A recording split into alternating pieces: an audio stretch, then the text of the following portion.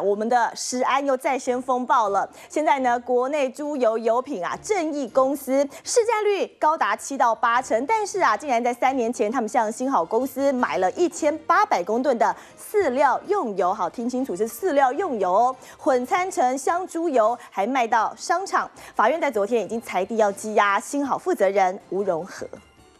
油品被查获使用饲料油混在食用猪油当中。台南市调处发现卖油给正义的新好公司，油品的来源复杂，甚至还包括废弃的食用油。那它油品的来源哦，多很多样化，有包括饲料用油，还有动植物混合油，甚至包括这个回收油。所以我们目前哈还对于它的油品的流向哈在一一清查当中。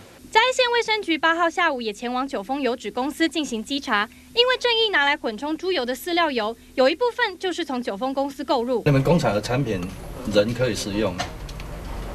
这个可能要经过精制才可以，因为现在的饲料它要求蛮高的，所以饲料用油它品质也是很好。那如果说你有经过加工的话，那就我就我也不是很清楚。所以你们也知道说有人在做精致，然后变成食用油。这个客人他们买去干嘛，我们就不知道了。